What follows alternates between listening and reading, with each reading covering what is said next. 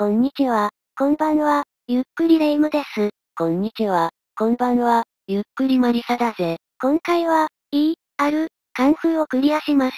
改造コードはレトロゲームをやろう、の、ブログでダウンロードしてほしいのぜ。それじゃあ、ゲームを始めるわよ。E、R、カンフーはコナミから1985年4月22日に発売された格闘ゲームなのぜ。改造コードは敵無効化、動かない敵をただ攻撃するだけの作業です。わら、敵一人目はワン。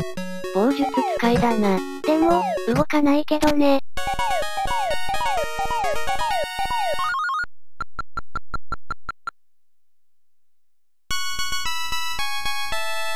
敵二人目はタオ。火の玉を吹いてくるのぜ。でも、吹いてこないけどね。わら、E、R、カンフーはアーケード版と、ファミコン版全然違うよな。完全に別物よね。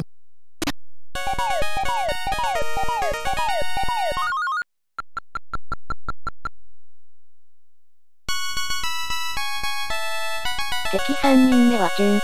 鍵付きの鎖で攻撃してくるのぜ。でも、攻撃してこないけどね。わら、このゲームの当たり判定って微妙だよな。慣れないと攻撃が当たらないわよね。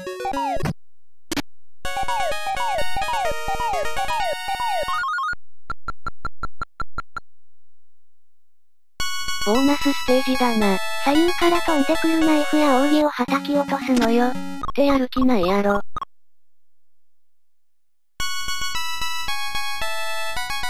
敵4人目はラン。手裏剣で攻撃してくるのぜ。でも、攻撃してこないけどね。顔はやばいよ。ボディあんな。ボディを。わら。えロー、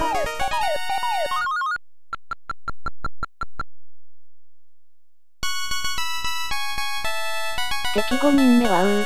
フライングボディアタックで攻撃してくるのぜ。でも、イカ役、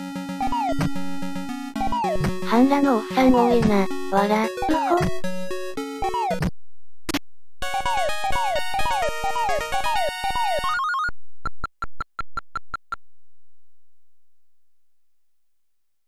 クリア。今回は E、R、カンフーをクリアしました。私たちにクリアしてほしいゲームがあったら、コメント欄にお願いするのぜ。最後までご覧いただきありがとうございました。チャンネル登録、高評価、お願いするのぜ。